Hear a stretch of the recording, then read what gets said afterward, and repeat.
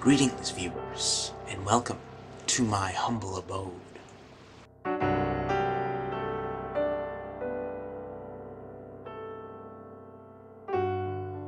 Anyway, hi, my name's Anders, and I created this channel back in August of 2014, but I didn't upload my first video until December. When I created it, I knew that I wanted to start making videos, but they were to go with my Instructables at the time. My goal wasn't to create any particular type of content, or form an audience, at least not here. I thought that by creating videos I could add another dimension to my do-it-yourself guides. And I did. I also used the channel as a place to dump random videos that I put together. I did this for about a year and a half. Then I started creating the type of content that I produce today. Outside of YouTube, I work a full-time and a part-time job, and I just recently went pro as a mountain biker, eating up what little time I have left. Usually I only spend a few hours a week editing, and I would love to spend more time working on videos, but with my current schedule, I simply don't have the time. I consider this a hobby and I don't expect to make any real money off of it, but if you like this channel and you like what I do and you want to support it, then I have a Patreon account where you can do that. Currently I have no supporters, so you could be the first one. Imagine that. On Patreon, I have two tiers, a $1 and a $5 one. For $1 per video, you get to be a peer reviewer. Not really, but kind of. You will receive early access to all my videos before I release them. I will be uploading videos on Thursdays because this is statistically the day when most people are on YouTube. However, instead of waiting to upload on this day, I will upload the video as soon as it's done, and the following Thursday I will make it live. From the point of upload to the point of release, you will be able to watch, comment, and like before anyone else. If while watching you find a mistake, you will be able to notify me and I will be able to correct it before it's released. In a way, you'll be part of the creation process, and you'll be rightfully thanked as a supporter and, I suppose, co-creator at the end of each video. The other tier is a $5 one where you'll be able to get everything in tier 1, but you'll also get to direct content a bit. If there's a topic you want me to cover or a video you want me to make, then I'll do it. I think I might have already mentioned this, but this will be on a per video basis. How I think that works is you sign up for Patreon, and once I post, that amount that you have pledged will be transferred from you to me. So now that all of the shilling is out of the way, we can get into my plans for the future of the content of this channel. Not too long ago I was feeling pretty down because the rates I was getting views and subscribers was going down. I was growing, but not as fast as I wanted or had hoped. Meanwhile, many other people who I consider close friends were exploding in views and popularity. The reason why my growth had slowed, at least in my opinion, was because of my upload schedule. I simply wasn't uploading enough for the algorithm to take my channel seriously. Obviously, now that's not the case. I think what's happening is YouTube has changed the algorithm once again, where it favors content that is longer and more spaced out. Or perhaps the algorithm automatically just fits the desires of the collective zeitgeist on this platform which would mean that people have become tired of the rapid video releases from others and are seeking out longer, more in-depth videos to spend their time watching. I'll upload new videos every month, or try to anyway. I'll also try to create shorter videos which require less research along with the longer ones. These will most likely alternate from month to month, so yeah. I'm going to be doing more camera work with skits and costumes and weird lighting, with a green screen. Actually, my next video will have quite a lot of that. It's gonna be awesome. Finally, I'll do my best to stay connected with my fans. I'll try to respond to as many comments as I can. I now get over 10 per day, so that's much harder than it used to be. One of my goals with this channel was to form a strong community, and one of the ways I plan on doing that is with Discord. I don't know much about it, but it's what all the cool kids seem to be doing, and it's a great way to communicate with your fans and make sure that those who want to see your videos get to. I've heard a lot of rumors of YouTube hiding videos in favor of others in some people's subscription feeds. I haven't experienced this myself, or know anyone personally who has experienced this, but I have seen it in my analytics. People don't seem to be watching my videos when I release them. So maybe there is some validity to this claim. I've never really given in to the YouTube is against us conspiracy theories, and I viewed most of them as just hysteria. But if this one is true, then I want to make sure that you all get to see my videos when they are released. Join my Discord, link below. Also, uh, follow me on Twitter while you're at it. I like it when people interact with me. It's fun. Speaking of communicating, a few weeks ago I asked for questions and you guys delivered. So let's do it.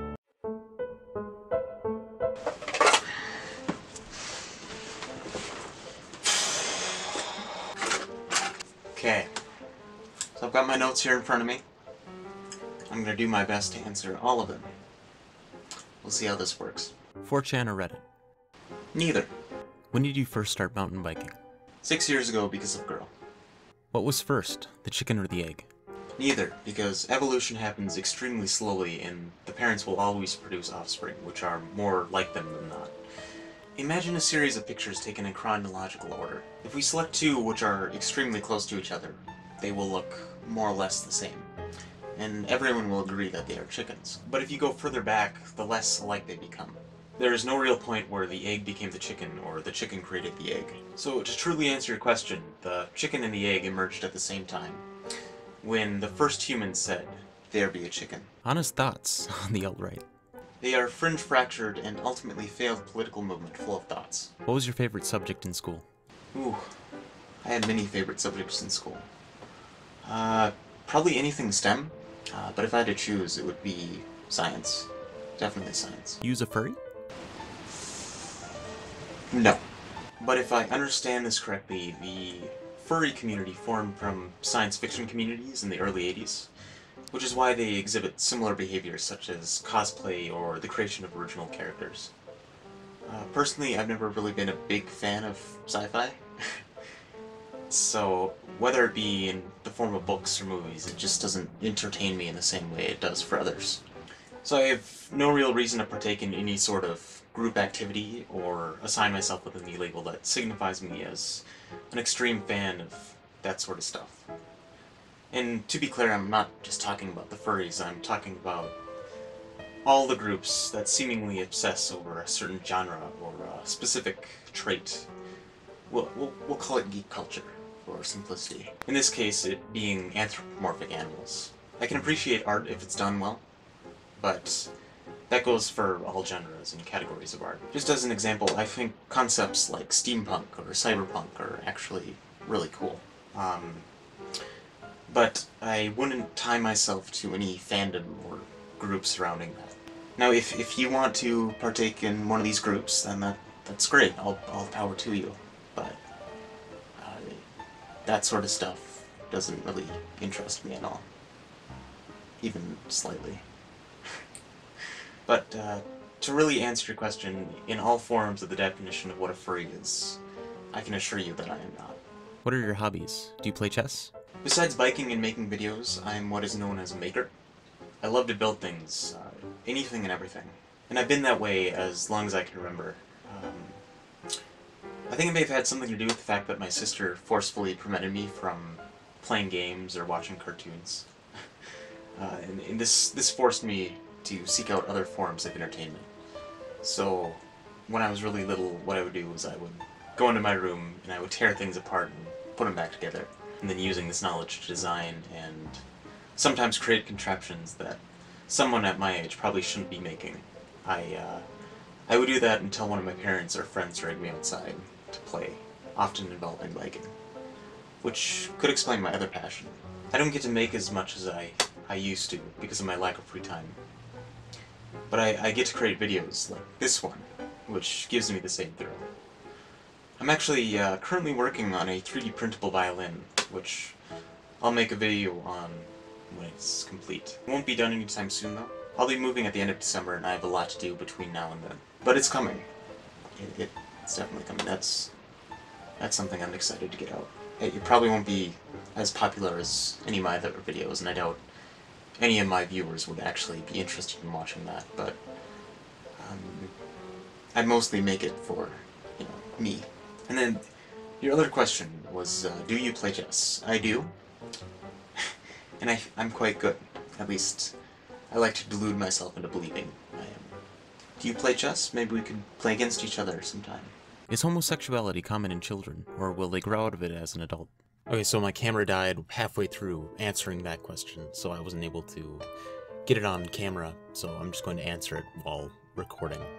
So, first off, it depends on what you mean by children. If by child you mean prepubescent, then the answer is no. If a child claims to be homosexual or heterosexual for that matter, they are lying. No one will feel any sort of sexual attraction before reaching sexual maturity. During, they may start to swing one way or the other, but this is no predictor of one's sexual interests or desires.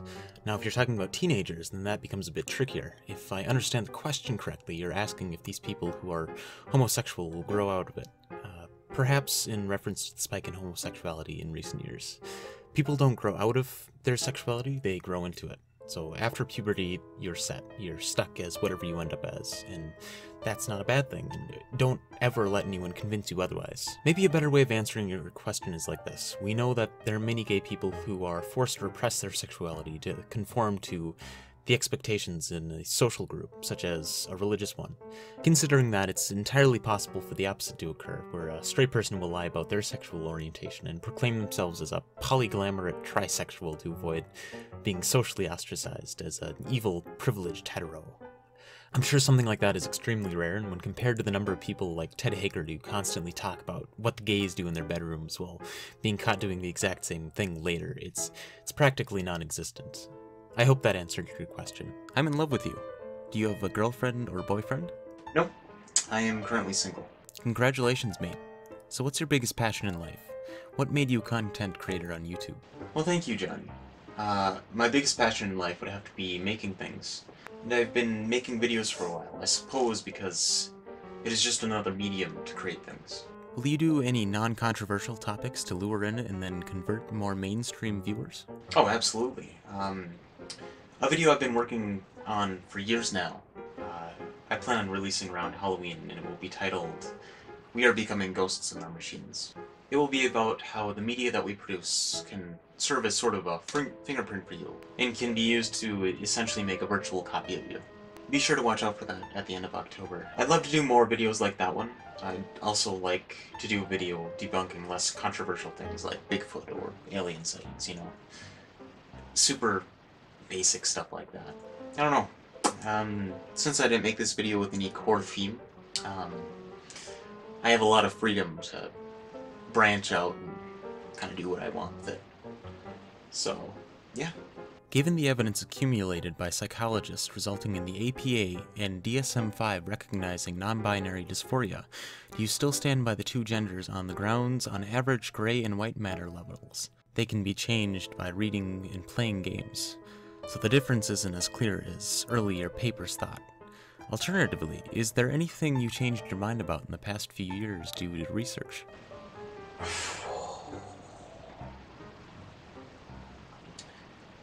So this is a bit of a difficult question to answer, but I'm going to do my best. First, I'd like to see the evidence that you say has been accumulated by psychologists. I've been told it exists, but when I request the papers or studies that provide that evidence, these people either don't reply, tell me that it's easy to find and I should look it up myself because, quote, I'm not your research assistant. Seeing that you didn't provide any, I'm kind of left scratching my head. He also said that this has led to the DSM-5 and the APA recognizing non-binary dysphoria. Uh, the DSM-5 is a manual for the diagnosis and treatment of mental disorders. Uh, it, it only speaks about gender dysphoria and makes no mention of non-binary dysphoria, as you put it. Gender dysphoria has been well documented, and we even discovered the mechanism by which it occurs. The human brain, like that found in many other species, is sexually dimorphic, and sometimes during the early stages of development, uh, the wrong brain can form in the wrong body, resulting in a great deal of discomfort for those who suffer from it. The, uh, the rates of suicide amongst the trans community is some crazy number like 46%, which is why it's so important that they seek help with their condition. Uh, unfortunately, not enough do. Now, I was able to find a fun, colorful fact sheet from the APA, which clearly says that very little research has been done on the non-binary community. And most of what is known from most of what is known comes from personal accounts of lived experiences. As far as I know, there is no known mechanism that would result in this sort of non-binary dysphoria, as you put it. I suppose if someone was trans and they decided that they didn't want to identify as a male or female because they had elements of both, then I, I guess that could be considered non-binary. Personally, I'm much more interested in the psychology and neurology of it. What's going on in the heads of the sorts of people who identify as something like uh, star gender, which is real, by the way. Look it up. Now, based off my experiences with talking to these sorts of people, it appears to be more of a, a social thing, which brings us into a whole nother dimension of gender. Uh, gender is a, a it's a multi-dimensional concept. Um, they, there are multiple ways to measure it and look at it.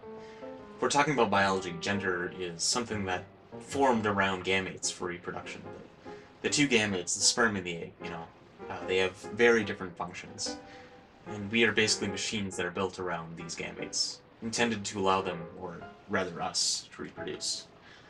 Uh, if the whole non-binary thing is strictly a social phenomenon, then that makes perfect sense. If we look across time and space, we see a great deal of variation within this social dimension of gender. Uh, even within populations, we see a great deal of variation in gender expression. And I think it's a good thing to sort of question the norms that exist in your culture. Whether it be, you know, the, the gender expectations or, or beyond. However, I see many non-binary activists working against the trans community. Uh, one notable example is Riley Dennis. They has frequently stated that gender is purely socially constructed, and there's no difference between men and women, and that it's all been conditioned into us.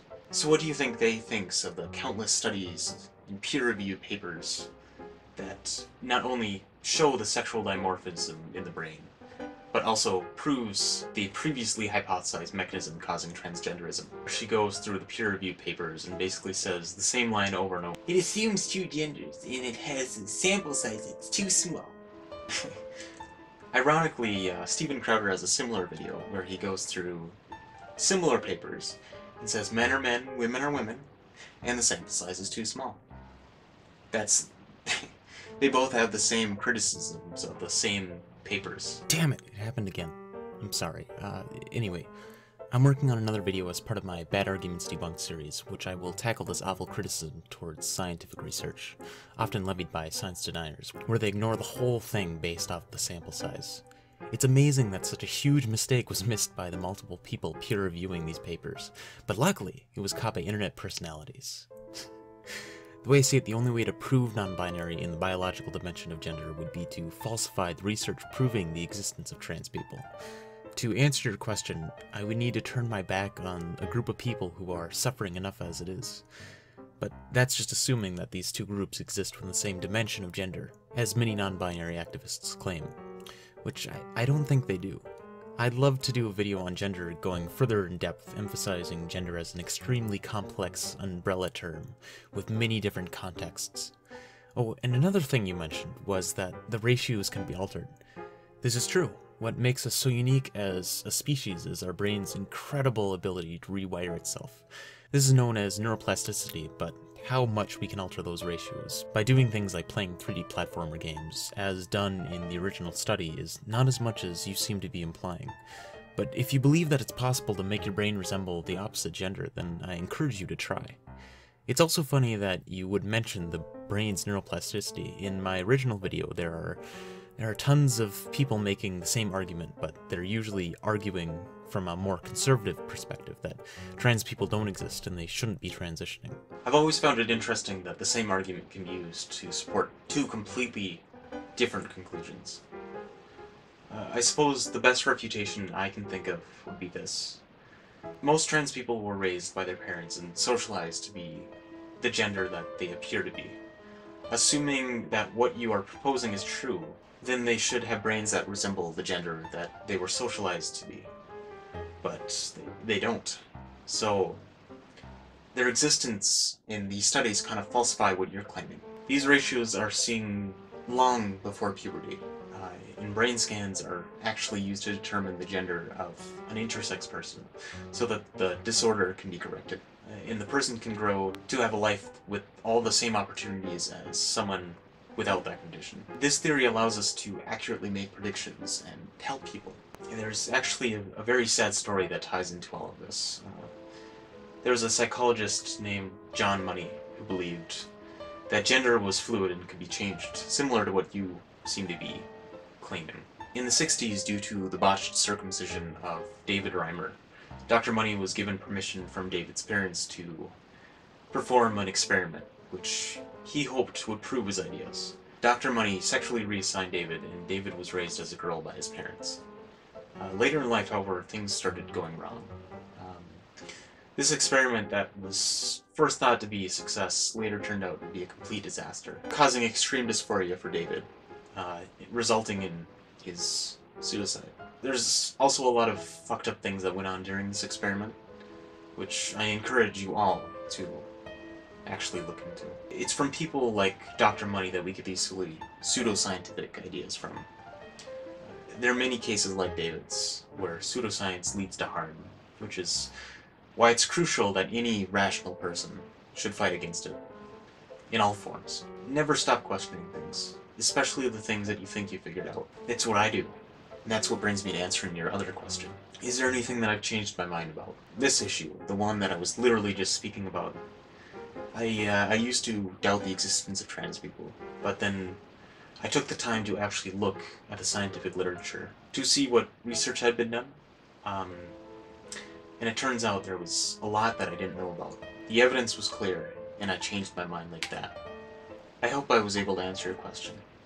First, I'll edit in a question later. Reminder What is your current opinion on the skeptic community? Also, this one's just for fun. Imagine you won $1 billion in the lottery, but aliens arrive on Earth the same day and tell everyone they will destroy the planet in two days. What would you do? Dev, man, how's it going? Dev is an awesome dude.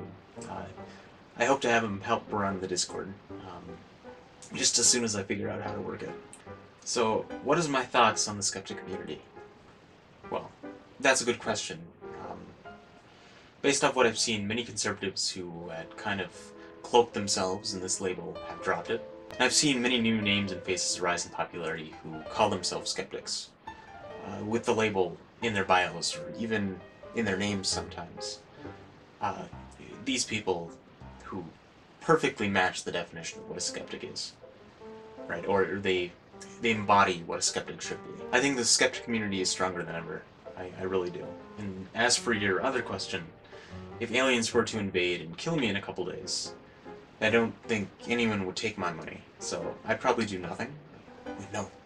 No, I know what I'd do. I'd take it all, I'd break it up into smaller bills, and I'd get a giant pile of cash, and I'd just set it in the middle of a room, and I'd jump into it like a leaf pile. If the Earth is an egg, does that make me a chick? Yes, and you're the cutest of them all. Since you're pretty science focused, did you, slash are you, going to university? And if so, what's the subject? Yes and yes. I am currently out, but I plan on going back this January if I can afford it. I'll be going back to earn a degree in mechanical engineering. What did you originally intend to make this channel for when you started it? A place to post most of the videos I made, because I like making videos. I, I didn't intend to gain subscribers and viewers, but here we are. What is your opinion on gun control? I am pro arms control. You just shouldn't be allowed to own nukes. That should should power our cities and cars. What is your opinion on the refugee slash migrant crisis affecting Europe? I suggest looking up O- Oginos? I think I'm reading that right. Oginos. Well, I am currently living in Minnesota where there are quite a few Islamic refugees, and I personally haven't seen anything like what you see in the videos you talked about from that guy you recommended. Personally, I think there is legitimacy to some people's concerns, but I really don't want to go any further because I'm not there and I can't comment on something that I haven't experienced. But Islam is an extremely barbaric religion in its purest form, just like all religion. And if you bring a bunch of people who are from another culture that is inherently bigoted and sexist into one full of freedom and equality, there will be a clash without a doubt. Now, as I've said, I, I haven't seen that here, so yeah. Why Pure Carbon as your channel name? There's a fun question. So, before I created this channel, I was researching artificial muscle because I was building an exoskeletal arm at the time. One way you can make artificial muscle is with carbon nanotubes. I ended up using fishing line muscle instead because I didn't have the tools or the know-how to create the carbon ones. I was also researching a bunch of cool but weird technological advancements at the time, and quite a few of them involved carbon. Carbon, if layered right, is clear and can absorb light, allowing for the production of clear solar panels. It can similarly be used to create night vision as well. Carbon can be lighter than a feather, and some carbon nanomaterials are more conductive than gold. This stuff can be stronger than steel. Carbon is in just about everything and can be found just about everywhere. Carbon in its purest form can do some incredible things. Plus, I thought the name sounded cool, so there is that. Don't become a hypocrite. Please, we have had enough of those. Can we finally have one guy on this earth who isn't a mental gymnast? Not saying you are one, but please don't change. Sure, I can do that. I think. That's on Fulong Gong? Fulon Gong. That's the weird Chinese cult that combines old Buddhist practices with aliens, right? I, I, I don't know. They, they don't really seem to be hurting anyone, so their ideas are BS, but I think they can serve as almost a case study for the Streisand effect. Uh, the way the Chinese government oppresses the followers, along with other religions. Uh, banning something, or forcefully removing something from people, only makes them want it more. And I think that is very interesting. But the, the, the actual group itself, the, the, the cult, religion, whatever you want to call it, is it's just like any other one. I'm just here to say, please, for whatever reason, don't quit this channel. I love all of your videos. As a science enthusiast, I follow many science related channels, but yours is one of the best. As always, keep offending. Oh. Well, that's very nice of you to say. Thank you. Did you do it? Yes. What kind you wanting? Any.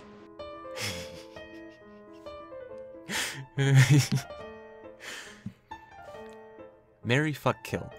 Ben Shapiro, Jordan Peterson, Alex Jones. you son of a bitch. Okay. I absolutely can't stand Ben. Uh, he's an obnoxious, condescending prick who's extremely hypocritical. I definitely would kill Ben. Alex is fucking rich, and he has ten times the net worth of Jordan. Plus, he's actually entertaining. that, of course, leaves Jordan for fucking. There you go. You're awful. You're a horrible human being. Fuck you for asking that question. I have a science question for you. Where do we come from and where are we going? Things religions try to answer and science tries to find out the truth on. We came from Stardust.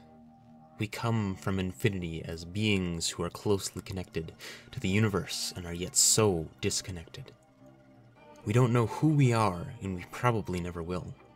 Wherever we go will be where entropy drives us, disguised as petty desires and material riches. Purpose is but a result of a series of events and a chain reaction set into motion from the Great Expansion. Where we go is the only place that we can go, and that is forward never stopping, never ending, never ceasing, following the destructive path of creation into the endless. Nah, but seriously, we're gonna destroy everything and then build it back up. It'll be fun. You'll see. What do you think of this song?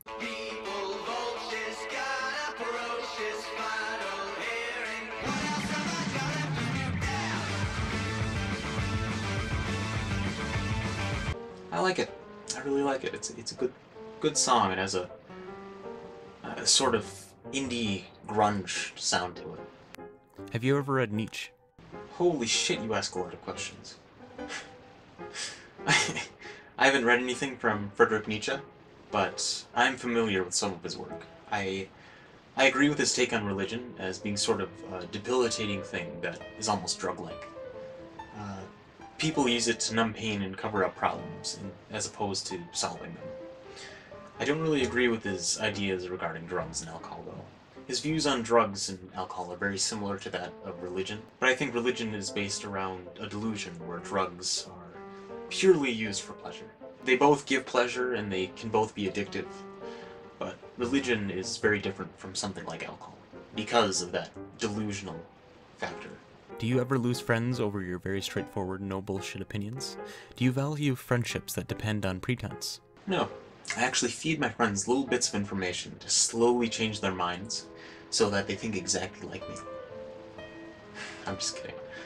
Uh, no. But seriously, uh, I haven't really lost any friends to my opinions.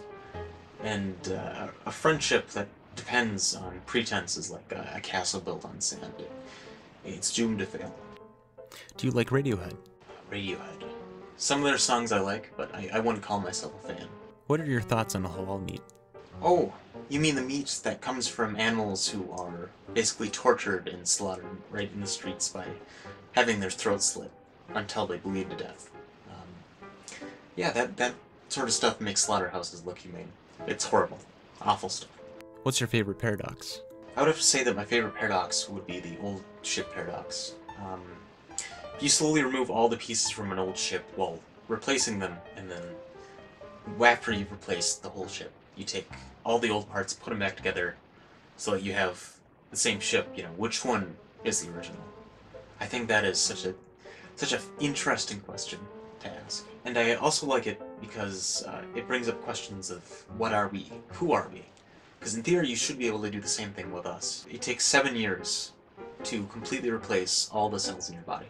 So theoretically, if you were to take all the old dead cells over a seven-year span, put them all together in the exact spot that they originally were in, and then you regenerated them somehow. Um, would this new being be you, or would you be you? I think questions like that are really, really interesting. What's your opinion on philosophy as a discipline? I've noticed that some very scientifically minded people are very dismissive of it, refusing to consult philosophical literature, while at the same time trying to answer philosophical questions. This results in them using very amateurish, self-made vocabulary, stumbling over thoughts that have been thought a million times before by better philosophers than them. You can probably glean my opinion on the matter now, but what's your take? That's a very good but complicated question. Let me start off by giving you my opinion, then I'll explain why I think scientifically minded people like Krauss or Bill Nye or Richard Dawkins are so dismissive of it. I believe that philosophy is just as, if not more important than science, especially now. Uh, there was a time when philosophers were very common, were sought after by the general public, and played a, a great role in politics. But that's that's no longer the case. In our world as it currently sits, there are many questions that we need to sort out. And I think philosophy is exactly what this world needs.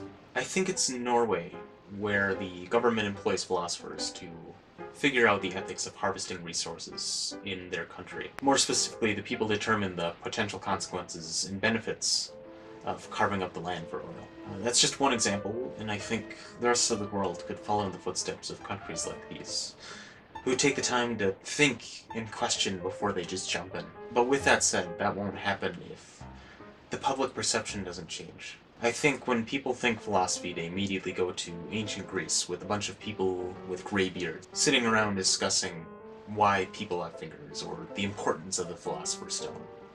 Now, this this sort of view kind of ties into why so many scientists or science communicators constantly bash philosophy as a discipline. I think it's partly because most people don't truly understand what philosophy is, or what it can be used for. They probably view it as an old way of understanding the world and finding answers to questions. Many of these people are extremely passionate about science, and they obviously see a, great deal of value in science. Which is wonderful. I, I think we should all have love for science, but this can serve as somewhat of a blind spot. There's a, a scene from Jurassic Park that I'm reminded of by this question of philosophy, and that's one where they're all sitting in the room at a table just after being given the tour, and Dr. Malcolm gives a little rant about his problems with the park. And he says something along the lines of, uh, We were too busy asking if we could that we forgot to ask if we should. Our scientists have done things which nobody's ever done before. Yeah, yeah, but your scientists were so preoccupied with whether or not they could, that they didn't stop to think if they should. That line kind of embodies this whole science versus philosophy discussion. If you praise one set of questions and answers, but not the other, then that's just silly. Science serves to answer some questions, while philosophy answers others. It's a, a, false dichotomy to try and say that one is better than the other, or one is more important than the other. The other reason why I think these people like to bash philosophy uh, is because of the way some people, who are often even more ignorant of philosophy, seek to answer scientific questions with philosophy. Uh, for example, it's common for many evangelicals to make moral or emotional arguments to prove God exists. Like, uh, existence is meaningless without God, therefore there must be one. Or uh, something like, we have morals, and these morals can only exist if they are grounded in something transcendent. You know, shit like that, right? I think stuff like that kind of leaves a, a bad taste in the mouths of many for philosophy. I think that's that's the case in people like Bill Nye or Richard Dawkins, who said in his book The Selfish Gene, Philosophy and the subjects known as the humanities are still taught today as though Darwin had never lived. No doubt this will change in time. Ignore the politics and social issues that it can help us with. We are on the cusp of scientific advancements that would be considered magic just a few short years ago. Many of these advancements, like most things, come with strings attached. If we don't critically examine the possible consequences of new discoveries and technologies, we could unknowingly be releasing a genie from the bottle. And once it's out, there's no putting it back in.